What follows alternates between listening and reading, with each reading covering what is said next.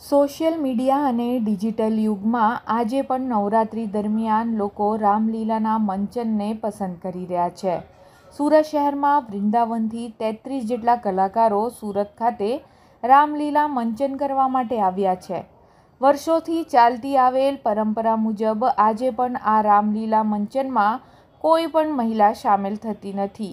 તમામ પાત્ર આજે પણ પુરુષ કલાકાર દ્વારા ભજવવામાં આવતા હોય છે. મોબાઈલ યુગમાં આજે પણ લોકો રામલીલાને જોવાનું પસંદ કરી રહ્યા છે. સુરત શહેરના વેસુ વિસ્તારમાં રામલીલા મેદાનમાં યોજાયેલી રામલીલા જોવા માટે મોટી સંખ્યામાં લોકો ઉમટી રહ્યા છે. આ કલાકાર રામલીલા ઉપરાંત કૃષ્ણલીલા પણ વર્ષ દરમિયાન કરતા હોય છે, જેના કારણે તેમની આજીવિકા પણ ચાલે છે અને તેઓ પરંપરા અને ભારતીય સંસ્કૃતિને પણ જીવિત રાખી રહ્યા છે. આ તેત્રીસ કલાકારોમાં સૌથી વધારે ભણનાર રામલીલામાં રાવણની ભૂમિકા ભજવનાર એમએની ડિગ્રી ધરાવે છે. જ્યારે ભગવાન રામની ભૂમિકા ભજવનાર હાલ સંસ્કૃતમાં બીએમાં ત્રીજા વર્ષમાં અભ્યાસ કરે છે. સૌથી મહત્ત્વની વાત છે કે પરંપરાગત રીતે જે રામલીલા આજે ભજવવામાં આવે છે, તેમાં આજે પણ મહિલાઓને સ્થાન આપવામાં આવતું નથી. જેથી મા સીતાની ભૂમિકા પણ પુરુષ દ્વારા ભજવવામાં આવે છે. સુરત ખાતે આયોજિત રામલીલા મહોત્સવમાં સીતાની ભૂમિકા ભજવનાર પાત્ર ધોરણ આઠમાં ભણી રહ્યો છે અને સીતાની ભૂમિકા ભજવવા માટે તેને આવાસથી લઈ તમામ પ્રકારની પ્રેક્ટિસ મહિનાઓ સુધી કરી છે मैं रामलीला में श्री राम जी का ही अभिनय कर रहा हूँ और ये मेरा सौभाग्य है जो कि मुझे राम का अभिनय मिल रहा है मेरा नाम माधव है माधव शर्मा मुझे वृंदावन में माधव ठाकुर जी के नाम से जानते हैं लोग क्योंकि मैं रासलीला में कृष्ण जी का और रामलीला में राम जी का अभिनय करता हूँ। और मैं थर्ड ईयर में हूँ बीए थर्ड ईयर में।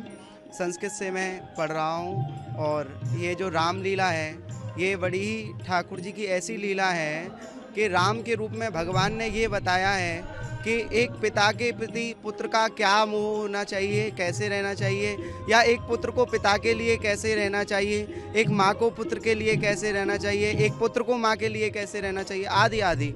ये हमारा नाम भोला है और हम सीता जी का अभिनय करते हैं। और सीता जी का अभिनय करने से पहले चार दो चार बातें हैं जो कुछ ध्यान रखनी पड़ती हैं, जैसे कि ठाकुर जी के प्रति भाव रखना है। जैसा रोल रखते हैं, वैसा ही अभिनय के द्वारा भाव भी होना चाहिए आपके अंदर, तभी अभिनय करने का आनंद आता है। यही सबसे ज़रूरी बात है जी। रकुल भूषण तो करण, मेरे जीवन प्राण, दासी की विनती सुने, दीन बंधु भगवान। पढ़ाई जी, अभी तो हिंदी, संस्कृत सभी विषय पढ़ते हैं, अपने जो भी हैं, क्लास में, उन्हीं को पढ़ते हैं जी। हाँ जी अभिनय के हिसाब से हमको आवाज़ भी अपनी चेंज करनी पड़ती है। जैसे अभिनय होगा, वैसे ही आवाज़ भी होगी। आए हम वृंदावन से हैं सभी, और ये कलाकार भी हमारे सारे ब्रज के ही हैं। और ये चलन भी जो है, आचार्य लोगों की परंपरा, कई हज़ार वर्ष पहले ये परंपरा आरंभ हो गई थी। ये कलाकार सारे ब्रज से आए हुए हैं और यहाँ सूरत में हम प्रत्येक वर्ष ये हमारी आदर्श रामलीला कमेटी ट्रस्ट ट्रस्ट जो है सूरत, ये सभी यहाँ प्रत्येक वर्ष ठाकुर जी का आयोजन उत्सव करते हैं। रामायण, हम लोग तुलसीकृत रामायण के आधार पर ही ये अपने रामलीला प्रस्तुत करते, दर्शन कराते हैं। इसमें नव रस है। नौ रसों का प्रवेश है इसमें। हास्य रस भी है, वीर रस भी है, करुणा रस भी है, सभी रस इसमें। और वैसे ये कोई साधारण नहीं है।